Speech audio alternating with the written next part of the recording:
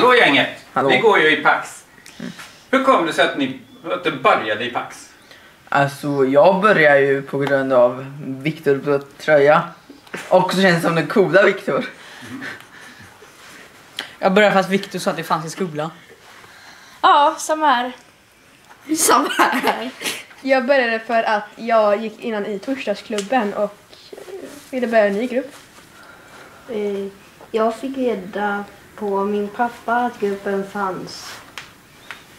Okej, men vad är det som gör... Nu vet vi att ni har börjat här i gruppen. Vad är det som gör att ni... Vad är det ni gillar med Pax? Jag är där och spelar Gummibjörnsången på ett av pianorna där ute. Jag gillar att spela pingis. Jag gillar att äta. Jag gillar att snurra runt på en stol.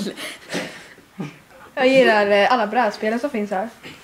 Jag gillade att spela pingis med kompisar. Ja, vad trevligt. Då kan man ju faktiskt hälsa välkomna till fler, eller hur? Så önskar vi alla en god jul. Hejdå! Hejdå! Jag är kort nu.